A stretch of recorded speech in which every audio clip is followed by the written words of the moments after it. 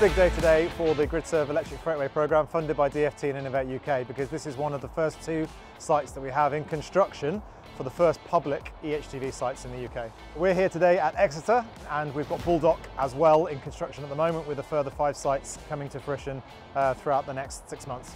I think the public sites have taken longer to come online because there's just a lot more complexity in what we have to do, the planning and the grid connections, uh, the design architecture, the swept path analysis. We had a, a long list of potential sites when we started the project, over 200 locations that GridServe could have entertained, but that number very quickly got down to a single digit number on the basis of grid connection in the time frame available, the practicality of the site and all the other complexities that, that go with building such a, a big hub like this. The vehicles came first really, then the depots and now it's great to see the public sites coming to fruition. We're learning things as we go and, and I've already been educated today on some of the, the f curbs and the bollards and the positioning of our chargers and the layout of the site which hopefully all of these things that we're learning today will help to continue improve um, as we build out more sites over the next year or so.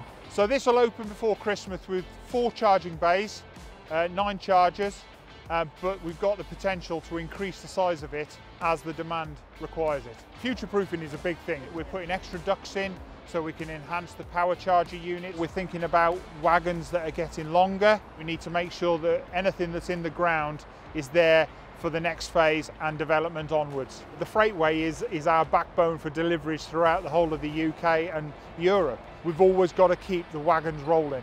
There is no universal connection for trucks at the moment, nor will there be for any time in the future. We do have an MCS megawatt charging standard, which will determine a charging socket on the left uh, side of the truck.